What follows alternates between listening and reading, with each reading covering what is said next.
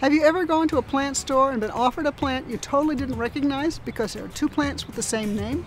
One plant confusion involves the name Snow on the Mountain. There are two plants called Snow on the Mountain.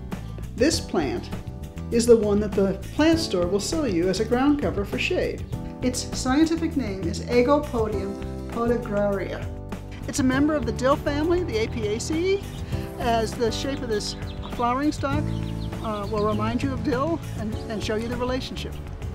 However, this is the plant you will find if you look up the name Snow on the Mountain in the index of the Colorado Wildflowers book or the Flora of the Great Plains.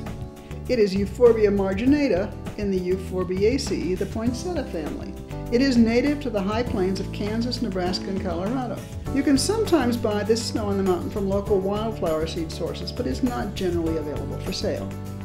As you can see, the flower is entirely different from the other snow on the mountain. The reason the common names are confused is obvious the white on the leaves.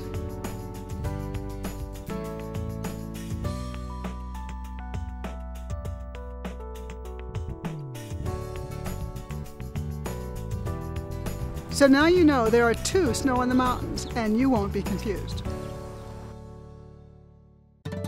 I'm Kathy Keeler, traveling the world far and wide to find great plant stories and to bring them back to you because I am a wandering botanist.